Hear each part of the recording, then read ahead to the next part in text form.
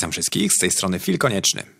Ostatnio dostaję bardzo dużo próśb o to, bym zrobił film z zestawieniem samych wydarzeń z Polski oraz świata bez tematu kryptowalut, tak byście mogli udostępnić go swoim znajomym, którzy nie mają czasu, by samemu szukać informacji, a jednocześnie temat kryptowalut mógłby ich odstraszyć. Nadchodzą ciężkie czasy i niestety wiele osób nie jest tego świadoma, przez co nie mogą się do nich odpowiednio przygotować. W tej serii przedstawiać będę wydarzenia, o których miła pani czy też pan w telewizorze nas nie poinformuje, a które mają ogromny wpływ na naszą gospodarkę, stan portfeli Polaków i pokazują, w którym kierunku zmierza świat. Także ta seria nazywać się będzie Prawdziwe Wiadomości i będzie zestawieniem najważniejszych wydarzeń z Polski i świata, a oto odcinek obejmujący styczeń. Miłego oglądania. Dobrze, zatem przejdźmy do wiadomości ze świata, a na początek bardzo ważna informacja z CNBC. Informacja, która pochodzi ze Stanów Zjednoczonych, mówiąca o Triple Threat of Policy tightening, czyli o tym, co Stany Zjednoczone starają się zrobić lub będą starały się zrobić w związku z obecną sytuacją ekonomiczną e, w kraju. Jak zapewne wiecie, w związku z wirusem, w związku z lockdownami, w związku z ucięciem łańcuchów dostaw, upadkiem wielu biznesów, e, Stany Zjednoczone starały się e, tę, tę sytuację zadrukować pustym pieniądzem z powietrza. Ciekawostka dla Was to to, że w tej chwili co trzeci amerykański dolar, który jest w obiegu, został wydrukowany w ciągu ostatnich ostatnich, e, ostatnich dwóch lat. E, no i Stany Zjednoczone oczywiście walcząc z inflacją muszą prędzej czy później podnosić stopy procentowe. No i wyszła teraz niedawno informacja mówiąca o tym, że Stany Zjednoczone będą starały się kilkukrotnie w tym roku podnosić stopy procentowe, ale co ciekawe, e, dodatkowo też będą starały się ściągać pieniądze z rynku, te wydrukowane pieniądze z rynku. No i oczywiście te pieniądze, które były drukowane z powietrza, pusty pieniądz, niepoparty niczym, wędrował bardzo mocno mocno też na tradycyjnych rynkach finansowych, pompując wyceny różnych spółek. S&P w tym roku, w tamtym roku, we wcześniejszym jeszcze rosło w rekordowym tempie, mimo tego, że od długiego czasu nie mieliśmy kryzysu, mimo tego, że od długiego e, czasu e, tak naprawdę mieliśmy kontynuację wzrostów. Na Boston Globe możemy przeczytać chociażby ciekawy artykuł mówiący o tym, że Powell stwierdził, że Fed będzie podnosił stopy procentowe, by walczyć z inflacją. I to jest taka ciekawa sytuacja, ciekawa sytuacja, z której możemy się bardzo dużo nauczyć od strony psychologii rynków finansowych. E, możecie się cieszyć, że potencjalnie e, poniekąd jesteście e, w tej sytuacji, w tych ciekawych czasach, ponieważ to, że stopy procentowe w Stanach Zjednoczonych będą podnoszone, było pewne. Przy tak dużej inflacji, przy tak dużym dodruku pieniądza, pewne było to, że stopy procentowe w Stanach Zjednoczonych będą podnoszone prędzej lub później, a im dłużej one nie były podnoszone, tym większa szansa, że niedługo e, podnoszone zostaną. Zwłaszcza, że inne kraje już zaczęły to robić. Ja zresztą przypomnę Wam, że już mniej więcej rok temu mówiłem o tym, że Polska będzie podnosiła e, stopy procentowe, e, przy czym wiele osób mnie wyśmiewało, twierdziło, że tak nie będzie, nie będziemy podnosili stóp procentowych, no bo przecież w telewizorze powiedzieli, że tego rząd nie będzie robił. Pan Glapiński, któremu oczywiście możemy zaufać, też twierdził, że stopy procentowe nie będą podnoszone, więc konieczny pierdzieli głupoty. Żadne stopy procentowe nie będą podnoszone i możemy śmiało pakować się all in w kredyty, by wybudować sobie dom. Tutaj chociażby macie artykuł z 5 marca 2021.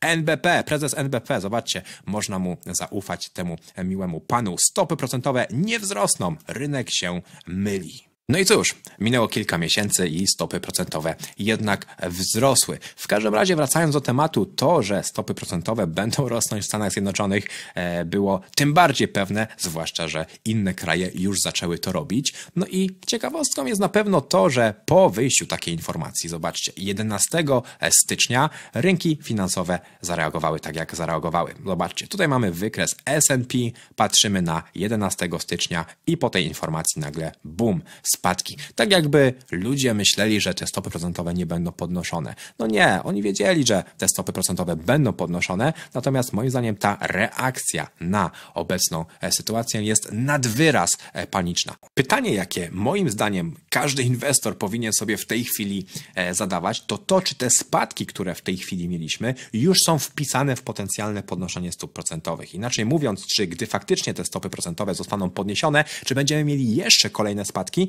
czy ten nadwyraz duży spadek już jest w tę informację wpisany. Wracając do samych Stanów Zjednoczonych, na Guardianie możemy przeczytać, że inflacja już doszła e, w grudniu do poziomu 7%, e, ale tak naprawdę no, ta inflacja, którą odczuwają przeciętni obywatele Stanów Zjednoczonych jest na o wiele, wiele, wiele wyższym poziomie. Tak zresztą jak i w Polsce. Ta inflacja, którą podają w Polsce jest zaniżana. Kolejny tydzień i kolejne informacje w związku z walutami banków centralnych. I tak też rząd Jamajki stwierdził, że 70% populacji Jamajki będzie używało CBDC w ciągu najbliższych pięciu lat. W Chinach natomiast CBDC już jakiś czas temu zostało wprowadzone, o czym zresztą Was już informowałem. Natomiast CBDC chińskie jest już na tyle popularne, że aplikacja mobilna, która służy do obsługi tego CBDC, jest ściągana tyle razy, że jest topową aplikacją właśnie w Chinach. Lufthansa wykonuje 18 tysięcy pustych lotów tylko po to, aby nie stracić miejsca na lotnisku. How dare you! Komisja Europejska w ogniu krytyki za puste loty. Obowiązująca w Unii Europejskiej zasada wykorzystaj lub strać, zmuszająca linie lotnicze do wykonania określonej liczby lotów, aby zachować prawa do slotów na lotniskach, doprowadziła do tego, że jedynie zimą linie grupy Lufthansa wykonały łącznie 18 tysięcy pustych lotów. How dare you! I to jest tylko i wyłącznie jedna linia lotnicza. Natomiast Unia Europejska zastanawia się, czy dla naszego dobra nie zabronić kopania kryptowalut, być może dla naszego dobra, czy nie wprowadzić zakazu poruszania się samochodami spalinowymi w miastach, lub też czy dla naszego dobra nie nakazać nam jeździć rowerami. Także zamykajmy kopalnie, odchodźmy od węgla, poruszajmy się komunikacją miejską, dzielmy ze sobą nasze pojazdy. W tym samym czasie linie lotnicze będą latały na pusto samolotami, żeby pozostawić swoje miejsce parkingowe na lotniskach. How dare you! A teraz, jeżeli nie siedzicie, to proszę usiądźcie, ponieważ takiego cyrku dawno nie widzieliście. Przejdźmy do wiadomości z Polski. Na początek bankier.pl. Podwyżki cen żywności jeszcze przyspieszą, zerowy VAT nie pomoże. Obok cen energii, kosztów użytkowania mieszkania i paliw, to właśnie żywność jest jednym z kół zamachowych rozpędzającej się inflacji. Rosną bowiem koszty wytworzenia produktów, opakowań, surowców i półproduktów, czyli to, o czym wspominałem na ostatnich wiadomościach. Podnoszenie cen prądu, podnoszenie cen paliw spowoduje, że wszystko w Polsce będzie rosło jeszcze bardziej. No, oczywiście nasze Ministerstwo Finansów twierdzi, że już nie będzie więcej inflacja rosła e, i zapewne za kilka miesięcy eksperci zostaną zaskoczeni. Money.pl Kolejny cios w portfele Polaków. Czegoś takiego nie było od 1996 roku.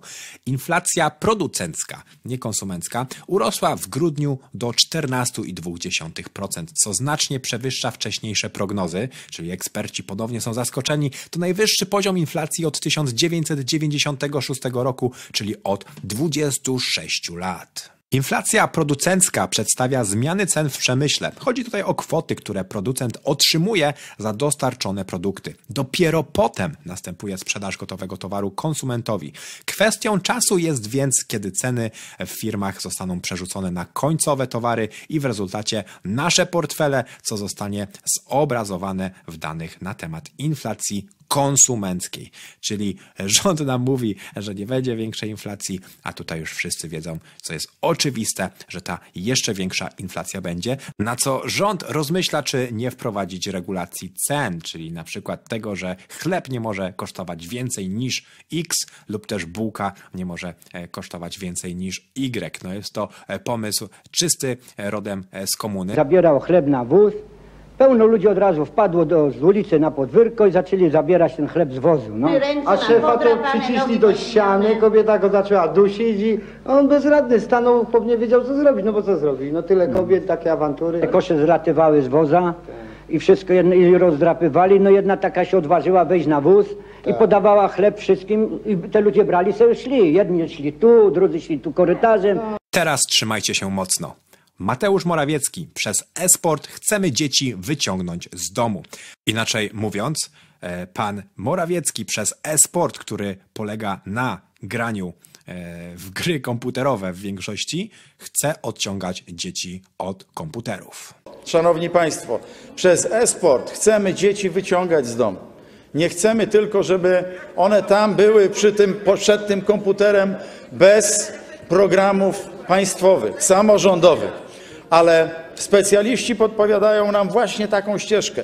Bądźcie tam po to, żeby wyciągać dzieci sprzed ekranów, monitorów, telewizorów, e, komputerów, To tylko i wyłącznie pokazuje, że ci ludzie nie mają pojęcia, co robią, nie mają pojęcia o tym, co w ogóle mówią. To jest jeden wielki cyrk. Patrząc natomiast na to, co dzieje się dookoła najpopularniejszej choroby na świecie, na którą swoją drogą w tej chwili choruję po raz drugi, także druga runda e, dla mnie. W każdym razie ostatnio e, doszły do nas słuchy, że rząd planuje wprowadzić obowiązkowe szczepienia dla medyków oraz nauczycieli. Obowiązkowe szczepienia na najpopularniejszą chorobę na świecie dla mundurowych i nauczycieli? Decyzja w styczniu.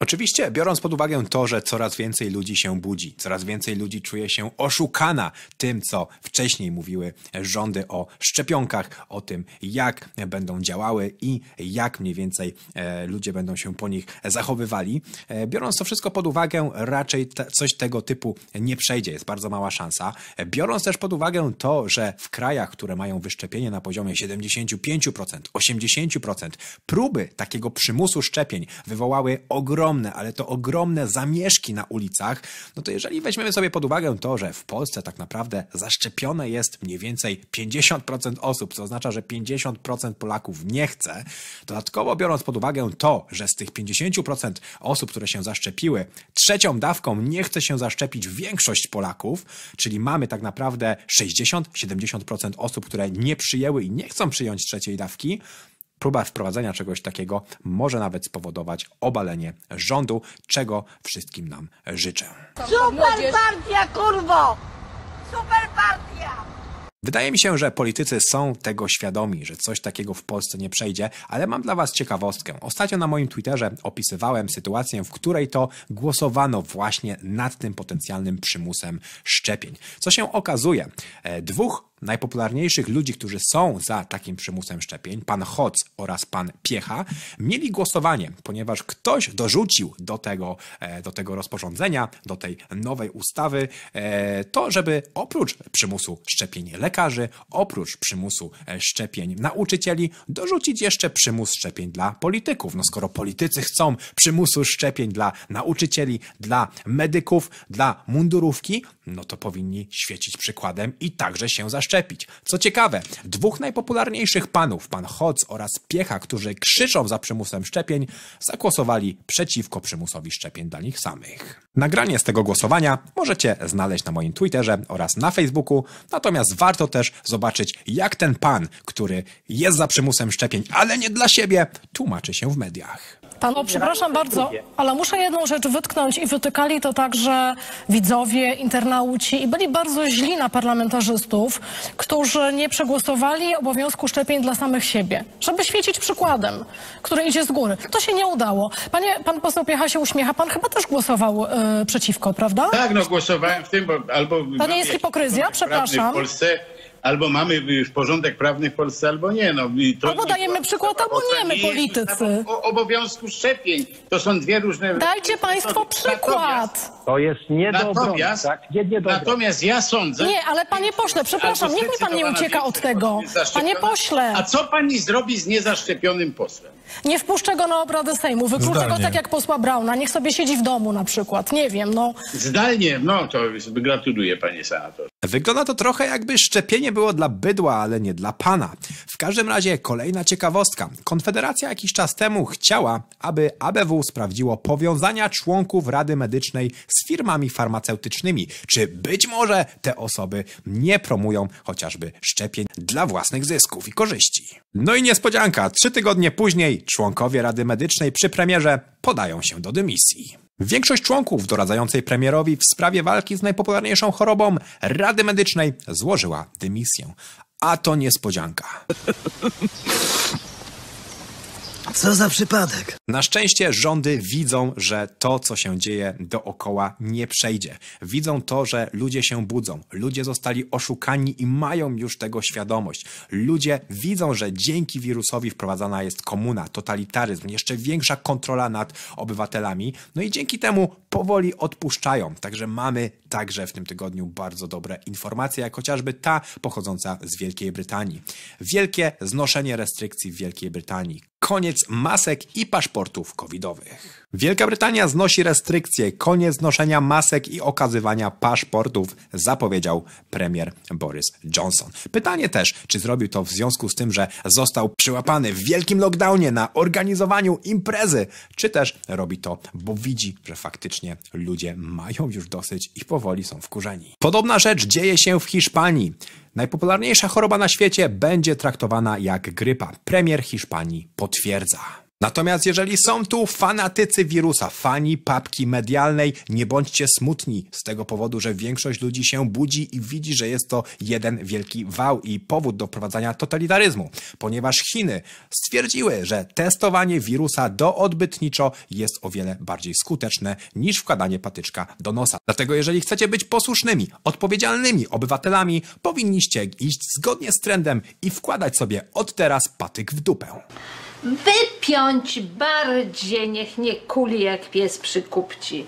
Oczywiście, byście nie zrobili sobie krzywdy podczas testowania, mam także dla Was instrukcję. Także lewa stopa na sedesie, prawa ręka rozchyla prawy pośladek i patyk wsuwacie w tyłek. Dług Stanów Zjednoczonych także cały czas rośnie, no i spada także przy okazji siła nabywcza amerykańskiego dolara. Jak chociażby możemy przeczytać w tym artykule, który właśnie Wam pokazuje, dług narodowy Stanów Zjednoczonych przekroczył 30 bilionów dolarów. I tak też mniej więcej wygląda zegar, który odmierza dług Stanów Zjednoczonych. Przekroczyliśmy 30 bilionów dolarów. W tej chwili mamy 30 bilionów 21 miliardów 479 milionów 440 tysięcy dolarów. Co w tym czasie robią Stany Zjednoczone? Ano nic. Nic nie robią, nie podnoszą stóp procentowych i jak możemy przeczytać na Yahoo Finance, Stany Zjednoczone postanawiają pozostawić stopy procentowe bliskie zera. E, co ciekawe, na pewno te stopy procentowe będą podnoszone mm, później, prędzej lub później. Muszą to e, zrobić, by jakoś ratować się przed hiperinflacją. E, I tutaj bardzo ważna lekcja dla nas, którą otrzymaliśmy kilka tygodni temu. A mianowicie, gdy wyszła informacja mówiąca o tym, że potencjalnie Stany Zjednoczone mogą podnosić stopy procentowe, natychmiast SP poleciało w dół. Ta sytuacja, którą tutaj też widzimy, powoduje chociażby to, że dolar amerykański w wycenie do pieniądza fiducjarnego, jaki mamy w Polsce, spadł nieco na wartości. Inaczej mówiąc, polska złotówka się umocniła z tego względu, że Polska już podnosi stopy procentowe, a Stany Zjednoczone jeszcze nie. Stóp procentowych także nie podnosi Europejski Bank Centralny, także z tego powodu możemy spodziewać się umocnienia polskiej złotówki także względem euro. Natomiast jeżeli taka decyzja zapadnie, zapewne ponownie polska złotówka zacznie tracić względem walut obcych. No i przejdźmy teraz do Polski. Przejdźmy do wiadomości, które pochodzą z naszego pięknego kraju. Wczoraj niestety na benchmarku pojawił się artykuł o polskim CBDC. Nadchodzi cyfrowy złoty, NBP intensyfikuje pracę nad wirtualną walutą. Swoją drogą walutą, która jeszcze rok temu miała nie powstać, nad którą jeszcze pół roku temu się zastanawiano, a teraz już nie dość, że powstanie, to prace przybierają coraz większego tempa. Rosnąca popularność kryptowalut coraz częściej przywodzi pomysł wprowadzenia cyfrowego pieniądza, który łączyłby zalety tradycyjnej gotówki i wirtualnych walut. Niedługo takie rozwiązanie może zostać wprowadzone też w naszym kraju. Dzień dobry. CBDC to nie jest żadna zaleta. Oczywiście będzie ono tak reklamowane, będzie się wmawiało starym babciom, że gdy będą miały waluty cyfrowe, to nikt ich im nie ukradnie, ponieważ nie będzie kieszonkowców, a jeżeli ich pieniądze, ich waluty cyfrowe powędrują na czyjś portfel, to będzie wiadomo, kto jest złodziejem. Będzie to reklamowane, mówiąc, że chociażby nie będzie kolejek przy kasach, ponieważ nie będą musieli kasjerzy wydawać reszty i tak dalej, i tak dalej. Nie będzie kolejek przy bankomatach, nie będzie trzeba wybierać gotówki. No i oczywiście wszystko będzie wprowadzane dla naszego dobra. Natomiast prawda jest taka, że CBDCs to jest kolejny etap ku niewoli obywateli. Dzięki CBDCs rządzący będą wiedzieli, kto ile pieniędzy posiada. Dzięki CBDCs będzie można wyłączyć każdego obywatela. Chociażby w Polsce padają pomysły konfiskaty prewencyjnej, czyli najpierw blokują wam wasze pieniądze, oskarżają o coś, a potem musicie tłumaczyć, że nie jesteście wielbłądem. Dzięki CBDCs podatki będą ściągane w 100%, no i dzięki CBDCs już niczego przed nie ukryjemy. Ale to jeszcze nic, ponieważ coraz częściej mówi się o tym, by chociażby polski złoty, e, czy też jakieś inne CBDCs z innych państw miały okres ważności. Inaczej mówiąc, pieniądze, które ciężko zarobicie, ciężką pracą, które rząd wam opodatkuje, będą jeszcze miały termin ważności. Dla przykładu, jeżeli ich nie wydacie w konkretnym terminie, no to rząd na przykład będzie miał prawo wam je zabrać, no bo skoro przecież ich nie wydaliście, no to zapewne ich nie potrzebujecie, a są tacy, którzy potrzebują. Dzień dobry. W magiczny sposób, gdy coraz głośniej mówi się o polskim CBDC, Tadeusz Kościński zrezygnował z funkcji ministra finansów i mówi się, że człowiek, który go zastąpi, to jest właśnie ten człowiek, który dostał zadanie, by wprowadzić w Polsce CBDC. Oczywiście to tylko teoria spiskowa. Kto wierzyłby w teorie spiskowe? Tak czy siak, jeżeli Polacy pozwolą na wprowadzenie CBDC, będą już stuprocentowymi niewolnikami. Pamiętajcie jedną bardzo ważną rzecz. To, na co my pozwolimy, będzie normalnością dla przyszłych pokoleń dla naszych dzieci oraz wnuków. Polska także w tym tygodniu podpisała sojusz, nowy sojusz z Ukrainą oraz, uwaga, Wielką Brytanią. Inaczej mówiąc, e, Anglicy będą walczyli e, za Ukrainę do ostatniego Polaka, chociażby wspierając nas, nas w takiej wojence e, z rzutem chociażby ulotek motywacyjnych, które będą wspierały nas do walki o Ukrainę. Co ciekawe, informacja ta przeszła bez większego echa, bez większych protestów. Ja nie wiem, czy e, Polacy nie uczyli się historii w szkole e, i, i, i nie wiedzą, co wydarzyło się podczas II wojny światowej, e, jak zostaliśmy sprzedani przez Anglików w Jałcie. Niestety historia lubi się powtarzać, a zwłaszcza powtarza się dla tych, którzy historii nie pamiętają. Podczas II wojny światowej my, Polacy, broniliśmy Anglii, broniliśmy E, Wielkiej Brytanii.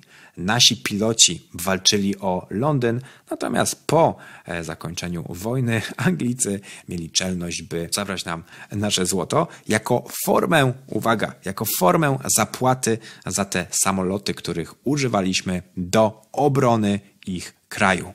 Następnie oczywiście sprzedali nas w Jałcie jeszcze Rosjanom i teraz my po kilkudziesięciu latach podpisujemy, e, podpisujemy nowy sojusz z tym krajem e, oraz e, z Ukrainą, na której robi się gorąco. Co na to Rosja? Rosja podpisuje pakt z Chinami. Także nie wiem, czy Polacy jesteście gotowi, by walczyć z Rosją i Chinami za Ukrainę, ale nawet jeżeli nie jesteście, to polskojęzyczny rząd właśnie za was zadecydował. Super partia, kurwo! W Polsce także mamy kolejne podwyżki stóp procentowych, które będą w przyszłości dotykać wszystkich kredytobiorców. Kiedyś na jednym wywiadzie już o tym wspominałem. Następuje tak zwany squeeze e, klasy średniej. Z jednej strony inflacja powoduje, że te osoby mają coraz mniej pieniędzy, lub też inaczej mówiąc, ich pieniądze mają coraz mniejszą siłę nabywczą, czyli możemy za te pieniądze kupić coraz mniej, a z drugiej strony kredyty są też coraz większe. Także ludzie są atakowani, pieniądze są ich, im wydzierane tej klasie średniej e, z różnych stron. PiS także e, szuka pieniędzy wszędzie, wszędzie gdzie się da i jak możemy przeczytać w artykule na instalki.pl, youtuber i tiktoker to dostawcy VOD mają płacić dodatkowy podatek. Rząd wpadł na zupełnie nowy pomysł sięgnięcia do portfeli Polaków. Tym razem na celowniku znaleźli się youtuberzy, tiktokerzy, a także influencerzy działający na Twitchu i Facebooku. Osoby zarabiające na treściach wideo na popularnych platformach społecznościowych są od teraz, zgodnie z ustawą o radiofonii i kinematografii z sierpnia 2021, traktowane jako dostawcy usług medialnych na żądanie. Widzowie nie płacą im bezpośrednio za filmy, Nie szkodzi. Krajowa Rada Radiofonii i Telewizji mówi wprost. Mają płacić. No powiem wam szczerze, że nie wiem, czy to jest dobry ruch PR-owy ze strony partii rządzącej, by wkurzać dodatkowym podatkiem ludzi, którzy mają ogromny wpływ na wielu Polaków. Jednocześnie w Polsce mamy także drastyczne podwyżki składek ZUS dla części przedsiębiorców. Przedsiębiorcy miesięcznie zapłacą nawet o 51% więcej za składki ZUS. Drastycznej podwyżki mogą spodziewać się osoby korzystające z opodatkowania ryczałtem, uzyskujące przychody powyżej 300 tysięcy złotych. Jednak wyższe składki ZUS czekają także na osoby płacące podatek dochodowy na zasadach liniowych lub według skali podatkowej. Inaczej mówiąc, w tej chwili mamy coraz wyższe podatki, coraz więcej podatków, coraz większą inflację i coraz większe raty kredytów. Na Business Insiderze możemy przeczytać o efekcie polskiego ładu. Setki przedsiębiorców myślą o przeniesieniu firm do Czech, czyli stała się rzecz, którą przepowiadało, przewidywało wielu analityków. Rząd, który e, chciał jeszcze więcej podatków, spowoduje, że tak naprawdę przedsiębiorcy powiedzą dość przeniosą swoje firmy za granicę i nie będą tych podatków płacić wcale. Codziennie mamy nawet 10 zapytań. Słyszymy od prawników, którzy pomagają przenieść firmy do Czech lub na Słowację. Podkreślają jednocześnie, że przeniesienie jednoosobowej działalności jest możliwe tylko przy fizycznej przeprowadzce. Są przedsiębiorcy, których i to nie odstrasza. I teraz uwaga, bo na koniec wiadomości mam dwie bomby. Pierwsza z Money.pl. Kolejna grupa zawodowa zobaczyła swoje wypłaty. Pracownicy ZUS-u chcą wycofania polskiego ładu.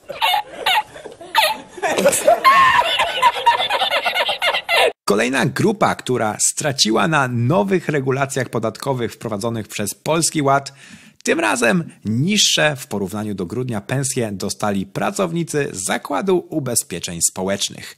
Związkowcy z ZUS-u wystosowali list do Mateusza Morawieckiego i Tadeusza Kościńskiego, w którym postulują wycofania nowych przepisów podatkowych. Czyli przedsiębiorca może płacić 50% więcej ZUS-u, natomiast pracownicy ZUS-u no już mniej zarobić nie mogą. Myślicie, że to jest szczyt absurdu? No to Patrzcie na to. Rząd chce dać ulgę posłom, bo stracili przez Polski Ład. Ministerstwo Finansów ma pracować nad specjalną ulgą, która pozwoli odzyskać pieniądze parlamentarzystom. Przypomnijmy, że posłowie i senatorowie dostali w styczniu wynagrodzenia niższe o około 1400 zł na rękę. Wszystko przez Polski Ład. Myślicie, że to nie przejdzie? Otóż już przeszło. Ten zwrot po prostu im się należał. Posłowie z kwotą wolną. Nikt nie może liczyć na interpretację podatkową w ciągu czterech dni, z wyjątkiem kancelarii Sejmu. Dzięki niej posłowie już dostali po 425 zł zwrotu z PIT za styczeń. No, ale no to jest po prostu dwa systemy podatkowe. Dziedzinie. Miało być tak pięknie wyszło jak zwykle. Jest no jeszcze... też tak powiedziałem premierowi, kiedy żeśmy rozmawiali na temat e, Polskiego Ładu. To... Że tak, że miało być pięknie, a wyszło jak zwykle, tak? Dokładnie. I co premier panu odpowiedział? Powiedział, że dniami, nocami ministerstwo pracuje, żeby te niedoróbki uzupełnić. I Wunderwaffe to ma być teraz Artur Soboń, tak? Tak mi się wydaje. Mm, który ym, nie jest ekonomistą z wykształcenia. Jeśli mnie pamięć nie myli, jest historykiem chyba. Ale podobno dobrym organizatorem.